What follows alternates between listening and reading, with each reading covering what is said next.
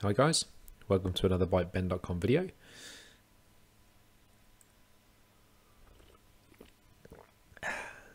I'm in relaxed mode because I've just recorded this lab and I'm new to OBS Studio and I didn't have the right microphone selected so I recorded the whole lab um, with no sound. So I'm doing it again. I've got a cup of tea, a bit more relaxed. Um, I want to say welcome to this. This is the first time I've done one of these videos where we've we've got the camera up and the mic up and we're doing some live labs. But you know it's cool. Um, keeps us sharp. So th these videos are going to be kind of based around some of the things we hear often in the community. Some of the how do you do this, how do you do that. Um, you know, we're on Twitter and Reddit and Facebook and Discord. There's all these different channels, and we often hear the same questions pop up every now and then. So, you know, I thought I'd address those questions in a lab. Um, one of the questions I hear a lot of is how do we install the company portal app from Intune? So let's give it a crack today, shall we? Um, and that's an interesting question that's posed actually, because in most scenarios you don't actually deploy the app from Intune. Um, you know, I'll, I'll, go into more details. So we, there is some configuration we do in the Microsoft Endpoint Management Admin Center. Um, but it is the Microsoft Store for Business that installs the app when we deploy the app in online mode. And in this session, we'll go through what an online app is and an offline app is and when you should use an offline app from the Microsoft Store for Business and when you should use an online app. Um, one of the reasons, um, another reason why this video has come up as something that we should be doing is the announcement just recently in the Config Manager 2006 technical preview, well, June of 2020, is that we can now see Config Manager apps in the company portal, which is cool so it was announced in the technical preview back in June. Um, it is a feature in 2006, um, just released. So, you know, this is going to be useful. So, so, some of you guys may not have deployed the company portal app. You may have just started doing some co-management stuff. Um, have only just moved some workloads over. If you have moved some workloads over, you've maybe moved over the client apps workload, which is the easiest um, because when you move the client apps workload, essentially you're saying, let me install apps from Intune and let me install apps from Config Manager. So it's a pretty um, non-invasive, easy workload to move. And the cool thing is now that all your apps appear in one place, you know, um, and this is actually a feature of the new company portal app. So the August version of the company portal app that's rolling out, version 11, um, means that if you have the client apps workload moved across for your clients, um, the apps will appear um, without requiring config man 2006. You know, so there are some things that um, the latest version of config man does bring to the table um, in client settings, and we'll save that for a different video. Um, so let's let's get back on track. So today we're looking at deploying the company portal app from Intune. Okay, so I just wanted to give a bit of background as to why I'm looking at that at the moment. So let's pop across to our desktop. And um, okay, in, in my browser, I have the Endpoint Manager Admin Center open, and I also have my store for business open for my tenant. Um, this video won't focus on how you set that relationship up. I'm going to assume you've already done that. Um, so if we take a look in our tenant. Um, if we have a look at tenant administration and look at connectors and tokens, we can see that we are active. Our store for business is linked with our Intune tenant. So that's the, the first thing you're going to want to make sure you've, you've got up and running. And I can pop a link in the video below to show you guys how to run through that. It's very straightforward. I've just done a sync here. I've just pressed the sync button that will synchronize any apps in your Store for Business inventory with Intune and it will make those apps available within the apps workspace. So if we if we click on the wrong button, we click on apps and if we filter by Windows platform, these are the applications that we are currently synchronizing with the Store for Business and we don't have the company portal app. So let's head over to Store for Business and get that sorted, shall we? Okay, I've got to briefly just cover the, I'm not going to dwell on this, um, but there are two different versions of the company portal app. Just bear with me with this one. Um, when we go to add the app from the from the store for business, let's search for it, shall we? Let's search for the company portal. And this is just the catalog. We're browsing for apps here. You can see I've got the option to get the app as an online app or as an offline app. Now, if you don't see that option, um, you're just going to get it as an online online app only. So for those of you guys doing autopilot provisioning um, and you want to deploy the company portal app, you'll have to deploy it as an offline app and keep that managed by Intune. Um, and if you don't see the option to choose between online and offline, it means you haven't enabled that setting within the store for business. So if you pop along to manage and then go to settings and at the very bottom you need to toggle show offline apps. And once you have that you'll be able to see that distinction when you add apps into the business store. So let's pop back and add our company portal app. Okay so we're going to get the online app. Just a side note if you did do decide to deploy the company portal as an offline app um, it will be installed via the Intune management extension and you will have to manage the updates for that app as well from Intune. Um, those apps won't be updated automatically on the client's PC. Now, when you deploy it as an online app, it's actually the store for business that does the installation, and the application is kept up to date via the store for business.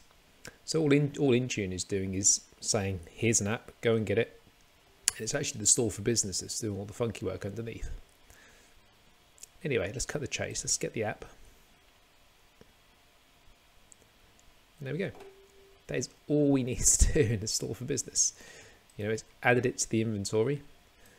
So if I pop now and look at my apps, I should see the company portal app in here. We'll just give it a few moments.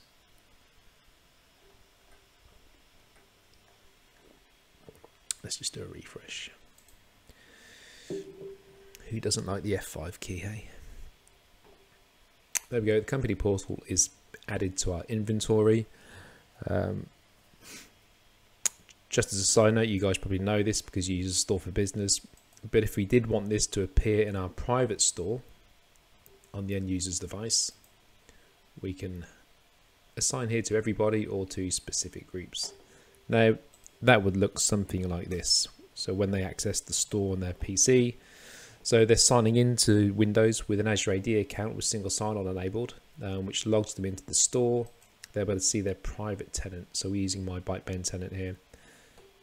And if I allow them to see it within the private store, they would see the app listed here. So that's pretty handy. You know. Anyway, I digress.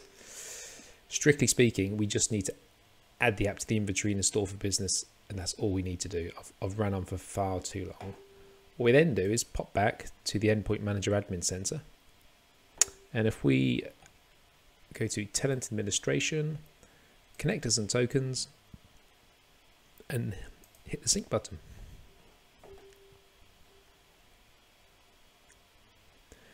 Give it a moment. If we head back to Apps, filter by the Windows platform. Refresh. And there we see the company portal. Whoa. Now all that is left for us to do is to assign the company portal app to our users. So this is a lab. Um, you maybe don't want to assign it to all users in your environment. Maybe you do. Um, you'll have to give that some thought. I'm going to assign it to all users. Well, actually, you know, let's be a little bit real world here. I'm going to add it to a user group who are licensed for Office 365. There we go. So, so I've added it to the required section. I've added the group. for my Office 365 users. If I save that. And that's all we need to do in the admin center.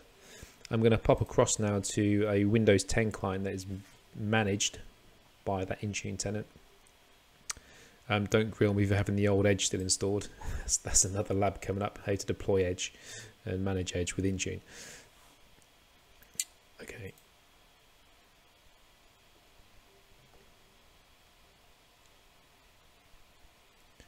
So while that's just sitting there in the background, actually I want to show you guys this. If I pop along to devices in the admin center, so this is the, this particular device in my lab. Um, if I have a look at managed apps, I can see the company portal app is a required install and it's waiting for installation status. So this device know there's an application for it.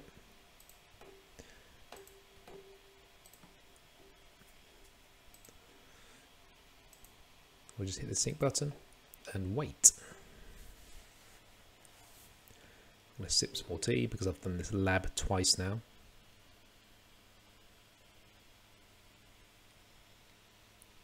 So I know it works. So I'm pretty chilled out about it. And there we go. Company portal app is installing. Great stuff. Now what you won't see is any magic happening in the Intune management extension log. So this is the store for business doing this here guys. Um, the logs aren't cracky with the store for business. You can run the command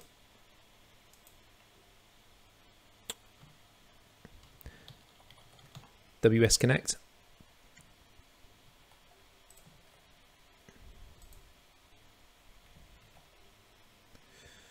Let's get my zoom sorted out.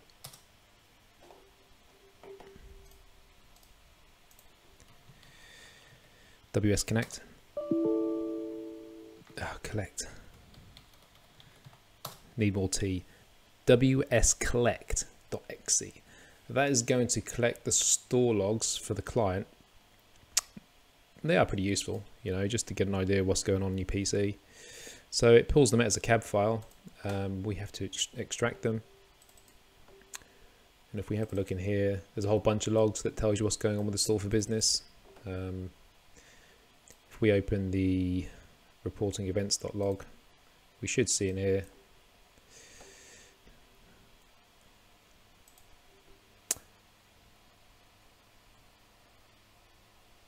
There we go. So to prove this is a Sunday evening, it's nearly 11 p.m. Uh, we can see the company portal app had started and the company portal installation was successful. Boom. Happy days. So let's just check it works, shall we? There's company portal. We'll pin it to the start menu because it deserves its place there. We'd open the company portal, single sign-on takes effect because I have an Azure AD user logging in.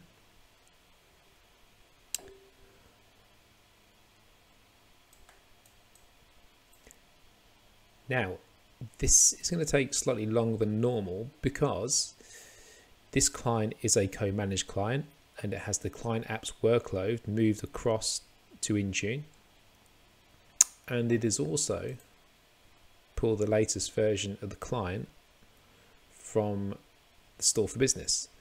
So with those prerequisites met, this client is now able to see both config manager apps and apps from Intune in the company portal. So this is cool. Um, as I said at the beginning of the video, Config Manager 2006 is a prereq uh, for some of the client settings. Um, you can change the behavior of notifications between the software center and the company portal app.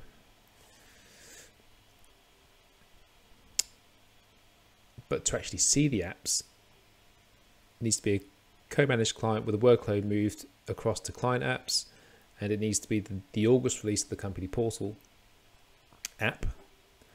And with those met, you can see we have config manager apps. Cool.